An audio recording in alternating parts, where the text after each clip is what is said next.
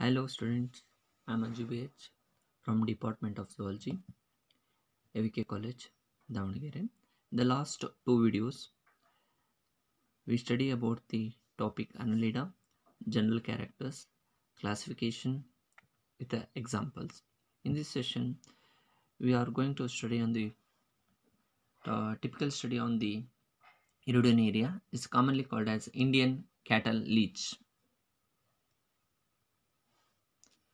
Hirudinaria, commonly called Indian cattle leech, belongs to the class Hirudinea, which contains over 300 species of leeches. Leeches are the most specialized annelids and have evolved from the oligochaetas. Hirudinaria has a great number of species. The most Indian species are Hirudinaria granulosa, Hirudinaria viridis, Hirudinaria javanica, Hirudinaria malinis. These species are also common in Burma, Pakistan, Bangladesh, and Sri Lanka.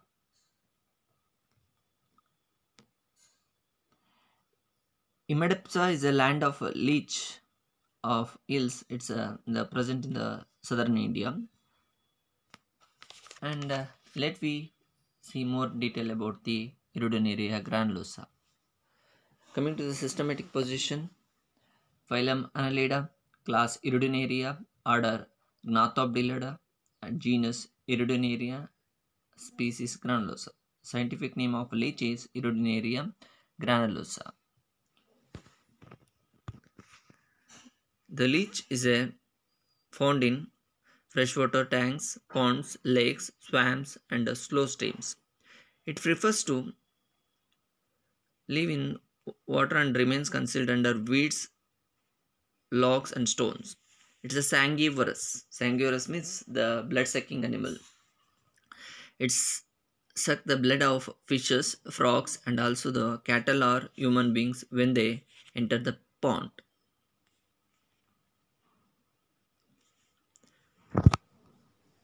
Coming to the external features, shape and size, the body of Hirudinaria is soft, vermiform, elongated, bilaterally symmetrical, and metamersally segmented. In a state of extension of the body is dorsoventrally flattened and appears almost strap shaped. But in a state of contraction, the body becomes more or less cylindrical.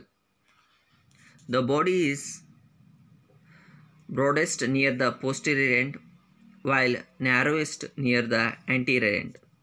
It has a great power of contraction and uh, expansion. A full grown specimen may attain the length of 30 to 35 centimeters. Coloration The body is beautifully colored with characteristic markings. The dorsal surface is generally olive green and the ventral surface is orange green, orange red, and the two sides bear distinct stripes of orange, yellow, and black. On the dorsal side is a median longitudinal black stripe. Segmentation The body of leech is divided metamersally into segments or somites. But metamerism is much reduced and the number of segments, unlike other annelids, is fixed in leeches. They have always 33 segments or somites. They are always having 33 segments or somites. Each segment is broken broken up externally by grows into rings called annuli. In leeches, we can see the 33 segments or somites and each segment the 33 segments are further further broken up externally externally by grooves into rings called annuli annuli. Okay in the 33 segments we can see the further external grooves external grooves called rings. The first and uh, segments the first and segments have one annulus each the third has two annuli annuli segments fourth to sixth have three annuli each fourth to sixth have two annuli each.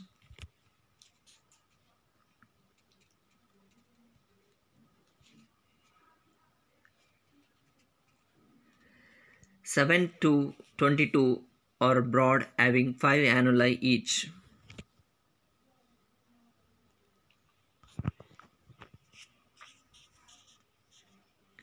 And segments.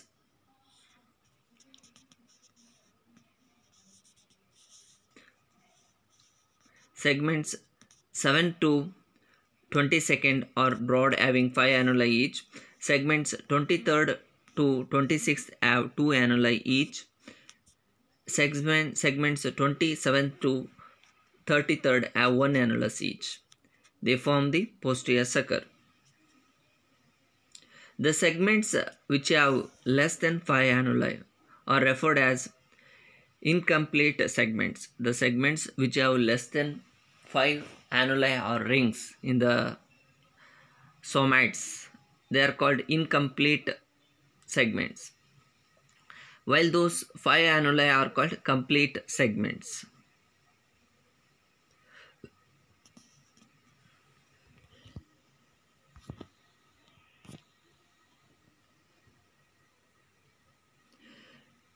The first annulus of each segment bears a larger sensory organs called sensile or segmental receptors.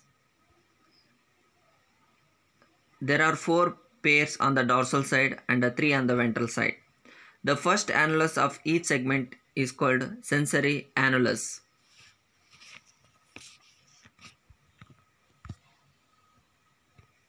Suckers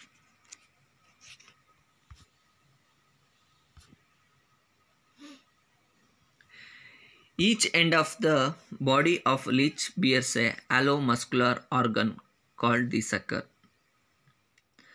The anterior or oral sucker is formed by the fusion of the prostomium with a few somites with a few somites and it is oval in outline and is placed on the ventral surface of the anterior end. It also possesses a, a ventrally directed cup-like allostructure, the preoral chamber, which leads into the mouth. The posterior sucker or anal circular anal sucker is circular in outline and forms the highly muscular disc at the posterior end of the body of the leech.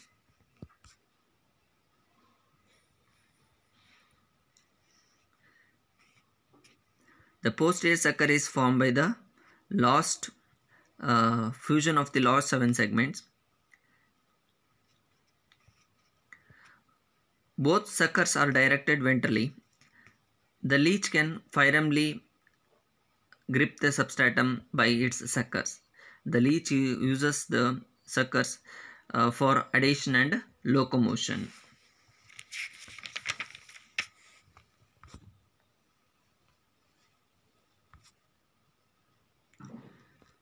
Next is uh.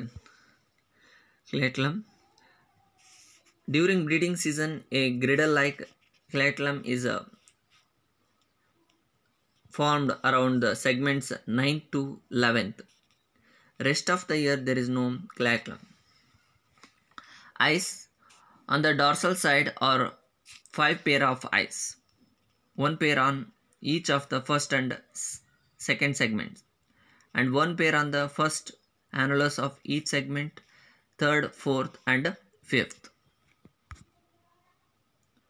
External features the external features consisting of mouth. Mouth is a it's a narrow triradiate aperture situated in the center of the funnel like preoral chamber of the anterior sucker. Anus, it's a very small aperture. Anus, it is a very small aperture situated mid dorsally on the 12th segment at the root of the posterior sucker. Nephridiopores There are 17 pair of nephridiopores lying on the ventral side of the body, which one pair lies on the last annulus of each segment from 6th to 22nd. Male generative aperture. It is situated in a groove between the second and uh, third annuli of the 10th somite and the mid-ventral line of the body. A filamentous penis is sometimes seen protruding through this aperture. Female genital aperture. It is usually smaller and less conspicuous than male male aperture. It's situated mid-ventrally in a groove between the second and third annuli of the 11th somite of the body.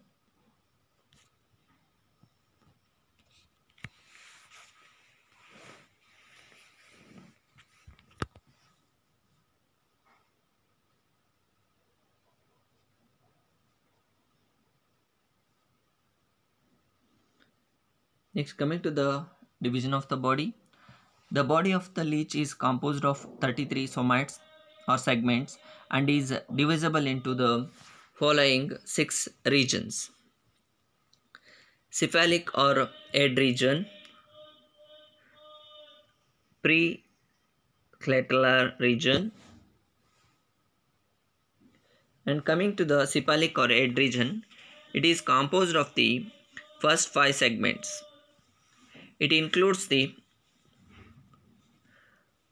prostomium, anterior sucker, the mouth, eyes, eyes.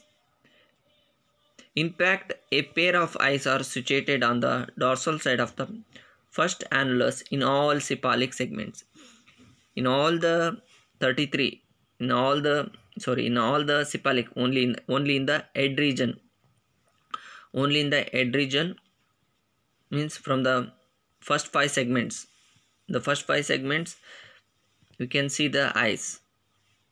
In, in fact, a pair of eyes are situated on the dorsal side of the first annulus in all cephalic segments.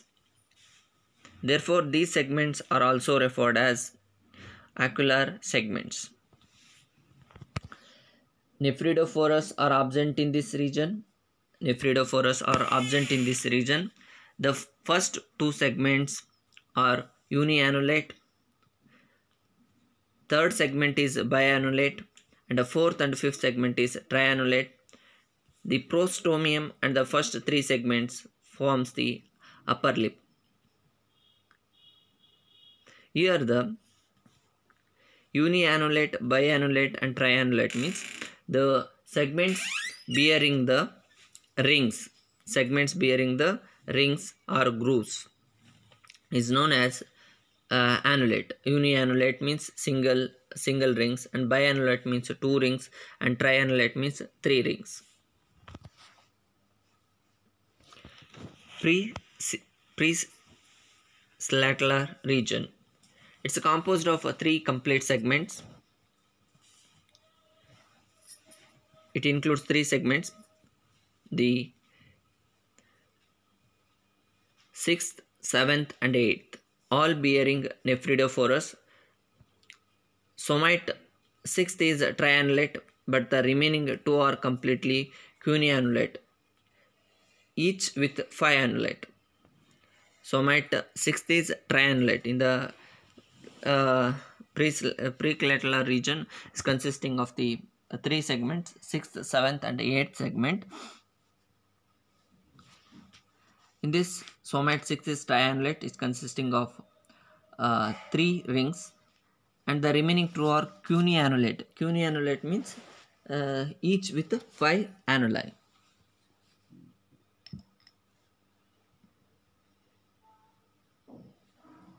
Next one is clitellar region.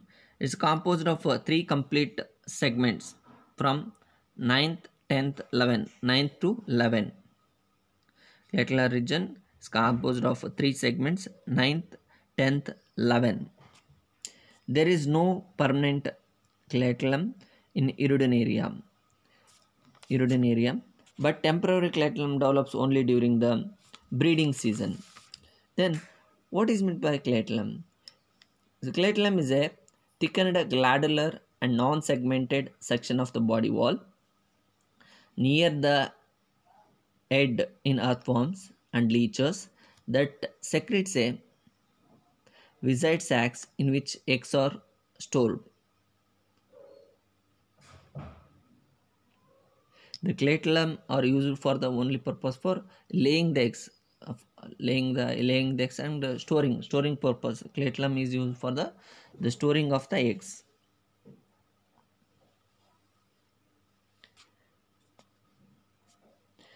This region also possesses the glandular wall. Nephridiopores are also present in this region.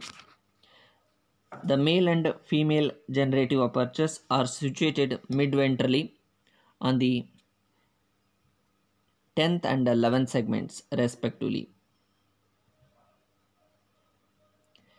Okay, the male and uh, female the male and female generative apertures are situated mid-ventrally on the 10th and 11th, 11th segments respectively. The segments of the clitoral regions are quinquannulate. Quinquannulate means um, the segments which bearing the the 10 segments.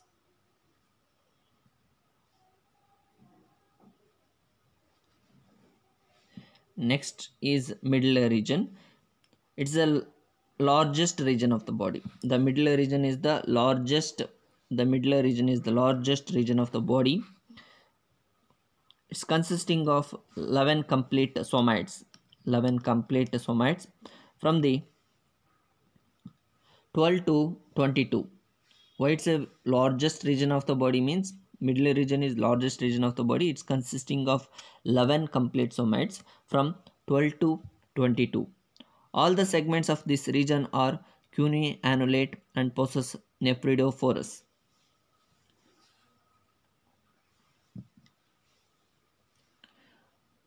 caudal region. The region is a short, consisting of four incomplete somites. And this region uh, from the segments 23rd to 27 sorry 26 it's the this region is from the 23rd to 26 segment 23rd is a triannulate. Segment segment um, 23rd is a triannulate but the remaining three are biannulate. Segments 26 bears the anal aperture on the dorsal side. There is there are no nephridiopores in the caudal region.